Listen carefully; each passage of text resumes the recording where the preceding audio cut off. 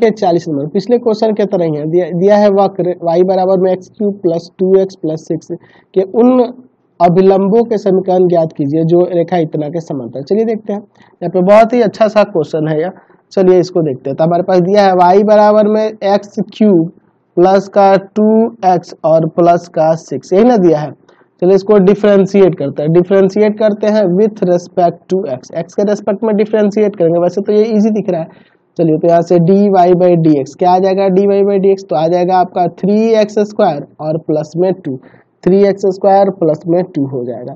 अच्छा ये हमारे पास क्या आया? स्पर्श रेखा का ढाल आ गया। स्पर्श रेखा का ढाल, स्पर्श रेखा का ढाल निकला। हमारे पास क्वेश्चन में क्या कह रहा है? कि अभिलंब का समीकरण ज्ञात कीजिए, जो रेखा इतना के समांतर है। तो अभिलंब का ढाल पता करना होगा पहले। तो बताइए तो अभिलंब का ढाल क्या हो जाएगा? अभिलंब का ढाल अभिलंब का ढाल। तो अभिलंब का ढाल निकालने के लिए माइनस वन बटा d y by d x मैंने बता रखा है ना जी? तो हो जाएगा minus one by three x square plus में टू ये ना हो जाएगा आपका थ्री एक्स स्क्वायर प्लस में टू ये अभिलंब का ढाल निकल गया। चूँकि चूँकि हमारे पास रेखा का समीकरण दिया है। रेखा का समीकरण। रेखा का समीकरण क्या है? एक्स प्लस चौदह वाई प्लस चार बराबर ज़ीरो। तो एक काम करते हैं, इन दोनों को उधर भेज देते हैं। तो चौदह वाई बराबर में आ जाएगा माइनस का एक्स माइनस का चार। ठीक है, इसको भाग में ले जाएँगे। तो वाई बराबर माइनस एक बट्टा चौदह एक्स और फिर माइनस का चार बट्टा चौदह। तो ये काटो चाहे नहीं काटो, कोई मतलब नहीं हमें ढाल से तो मतलब है ना जी? चलिए तो यहाँ से हमारे रेखा का जो ढाल आ गया, रेखा का ढाल, वह कितना आ गया? माइनस का एक बट्टा में चौदह। रेखा का ढाल आ गया। ठीक है, अब रेखा का ढाल आ गया। अब चूँकि आपके पास कह रहा है कि अभिलंब जो है ना, अभिलंब अभिलंब, रेखा रेखा, x प्लस चौदह वाई ठीक है, और प्लस चार बराबर ज़ीरो के समांतर है। तो इसके समांतर है तो दोनों का ढाल तो बराबर होगा ना जी? चलिए तो यहाँ से इसका ढाल यहाँ पे ऊपर है माइनस का माइनस का वन बटा में थ्री एक्स स्क्वायर प्लस में टू प्लस में टू यही ना है आपका? यहाँ पे यही ना है। चलिए, और बराबर में यहाँ पे क्या हो जाएगा? माइनस का एक बट्टा में चौदह। माइनस माइनस काट दिया जाए। क्रॉस मल्टीप्लाई करते हैं। Three x square plus two बराबर में चौदह हो जाएगा। यही ना होगा आपका। चलिए, यहाँ से एक्स का वैल्यू निकल जाएगा। ये जाकर उधर घटेगा तो थ्री एक्स स्क्वायर बराबर में बारह। ये जाएगा भाग में तो एक्स स्क्वायर बराबर चार। यानी कि एक्स बराबर आ जाएगा प्लस माइनस टू। एक्स बराबर प्लस माइनस टू। अच्छा चूँकि आपके पास, चूँकि वाई बराबर में दिया है एक्स क्यूब प्लस में दो एक्स प्लस में छ यही ना दिया, एक्स एक्स क्यूब प्लस दो एक्स प्लस में छ तो यहाँ देखो, एक्स बराबर दो पर। वाई बराबर क्या हो जाएगा? तो दो का क्यूब प्लस दो दो का क्यूब प्लस दो गुना दो और प्लस में छ दो का क्यूब आठ और प्लस दो गुना चार और प्लस छः छः चार दस आठ, अठारह हो जाएगा।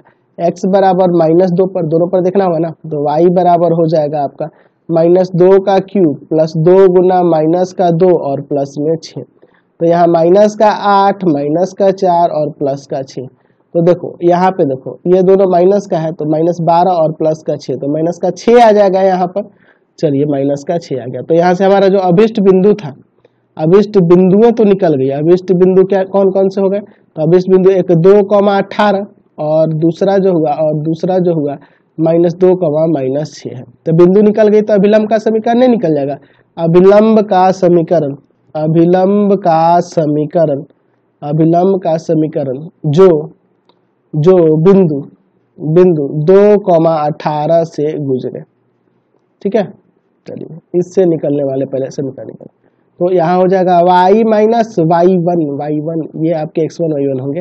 और बराबर में ढाल ढाल कितना है? तो ढाल आपके पास आया है माइनस का एक बटा चौदह। हम लोग देखे थे, ऊपर स्पर्श रेखा का ढाल निकला है ना जी? रेखा का ढाल निकला है ना माइनस एक बटा चौदह? तो वो तो इसके समांतर है ना अभिलंब। तो दोनों का ढाल बराबर होगा एक्स माइनस टू। चलिए, इसमें इससे गुना करते हैं, ठीक है? तो यहाँ गुना करेंगे तो ये हो जाएगा चौदह वाई चौदह वाई और अठारह में चौदह से गुना कर देंगे तो आपका आ जाएगा, दो सौ बावन हो जाएगा ना?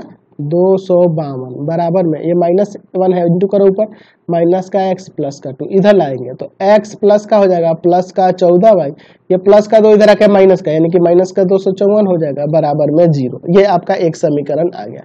फिर उसी तरह से अभिलंब का दूसरा समीकरण निकालना होगा। अभिलंब का समीकरण, क्योंकि एक और बिंदु है ना, अभिलंब का समीकरण, जो बिंदु जो बिंदु माइनस दो कॉमा माइनस छ से गुजरे, माइनस दो कॉमा माइनस छ से गुजरे, माइनस दो कॉमा माइनस छ से गुजरे।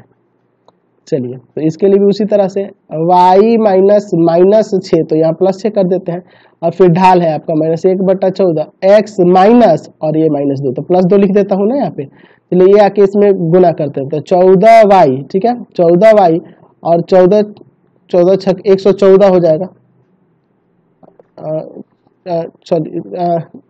चौरासी हो जाएगा, ठीक है? चलिए, और बराबर है माइनस का एक्स और माइनस का दो, यही ना हो जाएगा आपका। चलिए तो इन दोनों को इधर लेके आते हैं। तो प्लस का एक्स प्लस का चौदह वाई और ये माइनस वाला इधर आके प्लस में हो जाएगा तो यानी कि एट्टी सिक्स हो जाएगा। बराबर में ज़ीरो ये आपका दूसरा समीकरण हो गया अभिलंब का। समझ गए ना? अगला